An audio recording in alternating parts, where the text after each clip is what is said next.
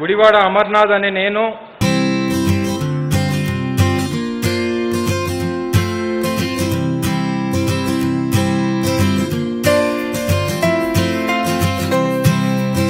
ఇంత బాబు అంత వాడయ్యాడు. ఏమైనా చెప్పాలంటే నాకు బాగా కన్నీళ్ళు వచ్చేస్తాయి. వాళ్ళ నాన్నగారు ఇలాగే మినిస్టర్ అయ్యారు. నేను ఎప్పుడైనా సరే నేను పెద్ద మినిస్టర్ అవుతాను ఎమ్మెల్యేని అవుతాను. చిన్నప్పుడే. ఒకటి నా దగ్గర పడుకోవడం నేనే స్నానం చేయడం నేనే అన్నీ ఇంకా. ఆ బాబు అంటది నేను సీఎంని అవుతాను నేను జగన్ అన్నలాగా అవుతాను అంటది. మాట్లాడు వాళ్ళ నాన్నగారి దగ్గర నుంచి వాళ్ళ తాతగారి దగ్గర నుంచి అదే నా బాటలో వచ్చారు ఇతను. కార్యకర్త నుంచి నాయకుల వరకు ప్రతి ఒక్కరిని కలుపుకుంటూ వారి కష్ట సుఖాలు తెలుసుకుంటే పార్టీ మెచ్చిన నాయకుడిగా ఎదగొచ్చు. ఇప్పుడు ఇదంతా ఎందుకు చెప్తున్నానంటే ఈ మాటలన్నీ కూడా గుడివాడ అమర్ గారికి వర్తిస్తాయేమో. కార్పొరేటర్ నుంచి కార్యకర్త నుంచి మొదలైన ఆయన ప్రయాణం కార్పొరేటర్గా ఎమ్మెల్యేగా ఇప్పుడు మంత్రిగా మంత్రి పదవి ప్రకటించిన వెంటనే ఆయన అనుచరులే కాదు కుటుంబ సభ్యులు కూడా భావోద్వేగానికి అయితే గురయ్యారు. సో ప్రస్తుతం మనతో పాటు ఉన్నారు అమర్ గారి నానమ్మ గారు. గుడివాడ రామరత్నం గారు ఆమెతో మాట్లాడదాం. నేను చూసాను ఇందాక నుంచి టీవీ దగ్గర ప్రతి ఒక్కరూ ఉత్కంఠగా చూస్తే ఆమె కళ్ళల్లో మాత్రం కన్నీళ్ళు కనిపిస్తున్నాయి. మనవడు ఇంత ఎత్తుకి ఎదిగిపోయారా అనిపించి. మా ఎలా అనిపించింది? చాలా సంతోషం అనిపించిందమ్మా. చాలా ఇంక మరి ఇంక చెప్పలేనంత సంతోషం. చాలా సంతోషం. మా మామయ్య గారు వాళ్ళ తాతగారు మేనమామ. ఆయన అలా పదకొండు నెలలు ఎమ్మెల్యేగా చేసి చనిపోయారు. వాళ్ళ నాన్నగారు ఇలాగే ఎమ్మెల్యే మినిస్టర్ ఎంపీ అన్ని పదవులు చేసి ఆయన ఇలాగే కాలం చేశారు. అప్పటి నుంచి ఇప్పుడు ఒక ఇరవై సంవత్సరాల వరకు అలా కష్టాల్లోనే చాలా దీనిగా కుటుంబం అంతా చాలా దీనిగా అయిపోయాం. ఇప్పుడు ప్రస్తుతానికి ఎమ్మెల్యే అయినప్పుడు మేము చాలా సంతోషించాం. ఇరవై ఏళ్ళ తర్వాత కదను? ఏమైనా చెప్పాలంటే నాకు బాగా కన్నీళ్ళు వచ్చేస్తాయి. అలాగే ఇప్పుడు ఆనందంగా ఉంది చాలా ఆనందంగా ఉంది. ఇందా ఉదయం మాత్రం చాలా టెన్షన్ పడ్డాం. ఏం వస్తుందని తెలుసు అయినా ఏమో అన్నది. ఏ- జరుగుతుందో ఏ ఉంటారు కదా ప్రతిదానికి ఒకరు ఉంటారు కదా ఎవరో ఒకరు పోటీ అలా ఉంటుందేమో అని చాలా ఇదిగా టెన్షన్లో పడ్డాం. టెన్షన్ చాలా ఉంది. పన్నెండు పది నిమిషాలకి ఎంతకో టీవీ నైన్లో పెడితే అది అబద్ధమే అనుకున్నాం మేము. అది అబద్ధమేమో అనుకున్నాం. తర్వాత అలా అలా అలా తెలిసిపోయింది కదా. ఇంక నేను చెప్పలేను ఇంక చాలా సంతోషంగా ఉంది. ఒక్కసారిగా అమర్ గారి రియాక్షన్ ఎలా రియాక్షన్ అంటే మరి ఇంక మాకున్నట్టే తనకి ఇంకా ఎక్కువ ఉంటుంది కదమ్మా. టెన్షన్ అయినవని సంతోషం అని తను బయటికి ఏం చెప్పలేరు. ఏది చెప్పరు. మంచి చెప్పరు చెడు చెప్పరు సంతోషాన్ని వ్యక్తపరచలేరు. దుఃఖాన్ని కూడా అస్సలు బయటికి రానివ్వరు. చాలా దేనిగా ఉంటారు. చిన్నప్పటి నుంచి వాళ్ళ నాన్నగారితో తిరుగుతూ ఇక అంటుంటాడు ఒక ఐదు ఆరేళ్ళు బాబు కాడి నుంచి. ఎప్పుడు వాళ్ళ నాన్న వాళ్ళ నాన్న దగ్గరే రాజకీయం కదా వాళ్ళ నాన్న దగ్గరే కూర్చోవడం. నేను ఎప్పుడైనా సరే నేను పెద్ద మినిస్టర్ అవుతాను ఎమ్మెల్యేని అవుతాను. చిన్నప్పుడే ఒక ఐదారు ఏళ్ళు బాబు నుంచే. నేను ముఖ్యమంత్రిని అవుతాను నాన్నగారు. మీరైతే ఎమ్మెల్యే ఎవరికే? అలా అంటుండేవారు అనమాట చాలా చిన్నప్పటి నుంచి సంతోషంగా ఎప్పుడు వాళ్ళ నాన్నగారితో అలా తిరుగుతూనే ఏ పార్టీకి వెళ్ళినా ఏ మీటింగ్కి వెళ్ళినా నేను వస్తానని అనబడేవారు చాలా ఇష్టం. ఈ పదవి అంటే రాజకీయం అంటే చాలా ఇష్టం. అందుకే వాయిస్ పవర్ కూడా అలా చాలా బాగా మాట్లాడతారు కదా. అల్లరి చదువు చిన్నప్పటి నుంచి అల్లరి అంటే అల్లరి పెద్దగా ఉండేది కాదు కానీ మరి ఏదో అల్లరి చేస్తారు కదా పిల్లలు. చిన్నప్పుడు అల్లరే మరి నా దగ్గర ఎక్కువ. అంటే నేను చెప్తున్నానని కాదు నా దగ్గర ఎక్కువ ఉండేవారు. నాన్న నన్ను ఆంటీ అంటారు. ఆంటీ దగ్గరే ఉంటాను ఆంటీ దగ్గరే ఉంటాను నా దగ్గరే పడుకోవడం నేనే స్నానం చేయడం నేనే అన్నీ ఇంకా. ఇంకా వాళ్ళ అమ్మ నేను బాగా కోళ్ళే కానీ బాగా ఫ్రెండ్స్ ఇద్దరు అది అందుకు బాబు నా దగ్గర ఎక్కువ ఉంటాడు. మా అక్క మా తోటికోళ్ళు ఉంది కదా ఆవిడ దగ్గర నా దగ్గర ఎక్కువ. ఉండడం అల్లరి చేయడం ఏదైనా ఏది కావాలంటే అది వండి పెట్టిడే మేము. అంత దీనిగా ఉండేవారు.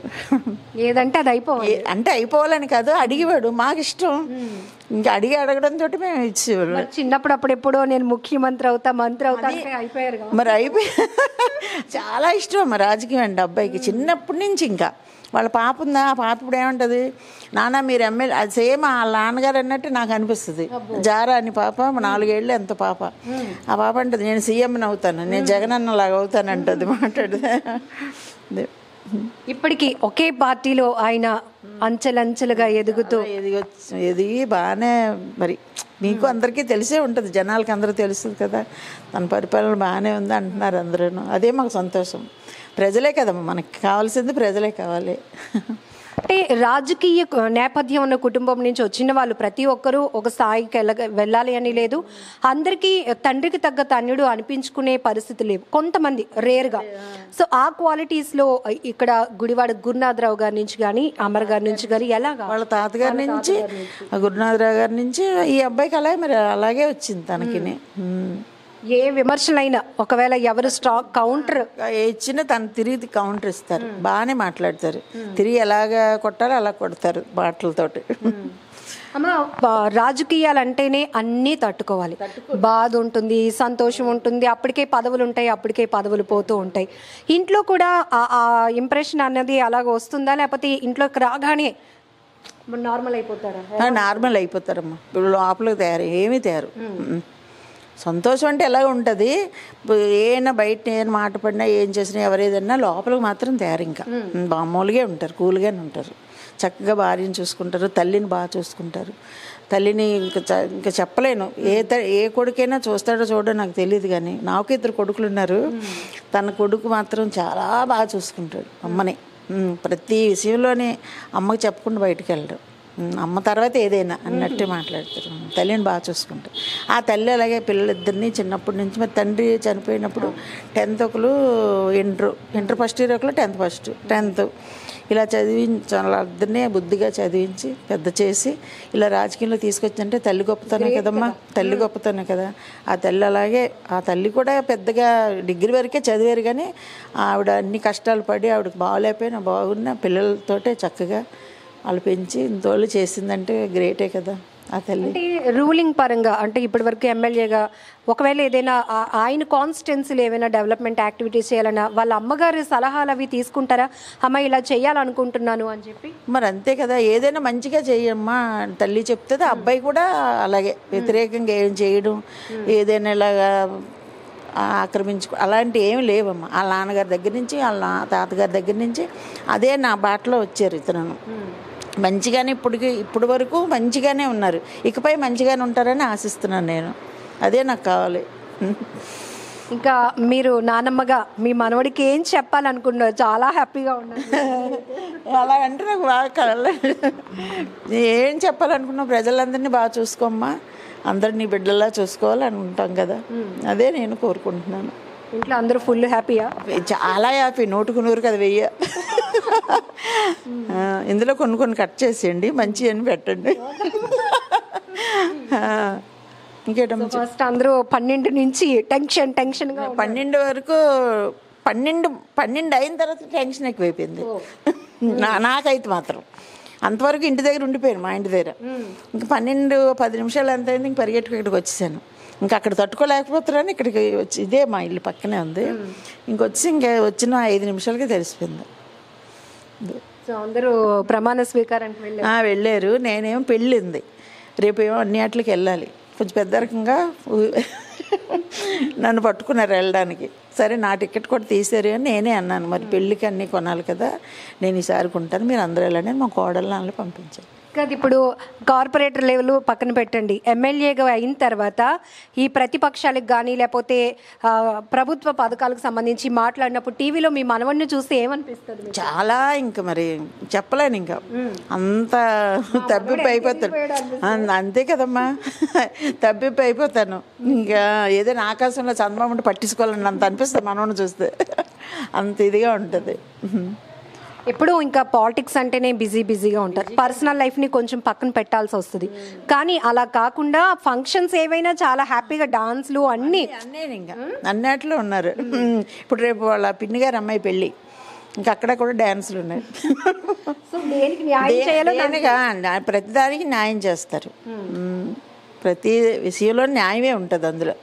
అన్యాయం మాత్రం ఇంకోసారి కనబడదు. అది నా అంటే నేను గొప్ప చెప్తున్నానని కాదు. మీ అందరికీ తెలిసే ఉండొచ్చు.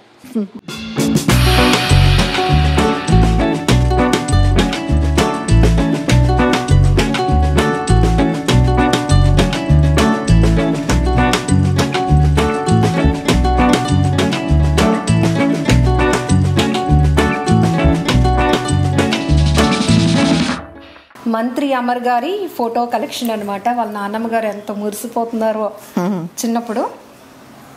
చిన్నప్పుడు అన్నప్రేషన్ అప్పుడు ఇది ఇది మామూలుగా అయితే సరదాగా తీసుకున్నారు.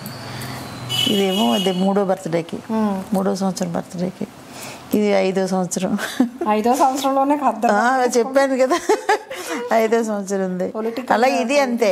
ఇవన్నీ అంతేనమ్మా. ఐదో సంవత్సరం ఇదేమో నాలుగోదో ఆరోదో. అలా ఇదేమో ఏడోది అనుకుంటాను. ఇంకా చిన్నదా? Stepwise. ఇది ఇది ఏడు. ఫోటో చూపిస్తాను చూడండి. ఇది వాళ్ళ అక్క. సురేఖ. అబ్బాయి. అన్న అక్క చెల్లి. అక్క తమ్ముడు. తిరుపతి వెళ్ళారండి.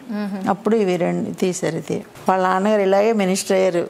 ఈ రోజు ఎంత సంతోషంగా ఉన్నా ఆ రోజు అంత సంతోషంగా ఉన్నా వాళ్ళ నాన్నగారు ఏమో ఆ బాబుని తీసుకొని అమర్ గారిని తీసుకొని వెళ్తున్నాడు. సింహాచలం వెళ్ళామండి అప్పుడు. అక్కడికి వెళ్ళారు ఇది. ఇది ఆ బాబు బర్త్డేదండి ఇది సింహాచలం వెళ్తేప్పుడు దండం పెట్టుకుంటున్నారు కదా అది. సో అయితే ఈ పిక్ చాలా స్పెషల్ ఇది మాత్రం చాలా చాలా చాలా సంతోషంగా. ఇవాళ ఎలా ఉన్నా ఆ రోజు అలాగే ఉన్నాం.